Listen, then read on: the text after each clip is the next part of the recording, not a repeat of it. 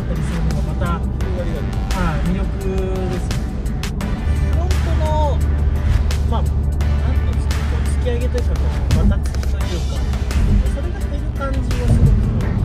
ありがたいですよね。いやもう GT はもう安心してあの極限まで攻められるんですけどなんかちょっとソリッドなイメージ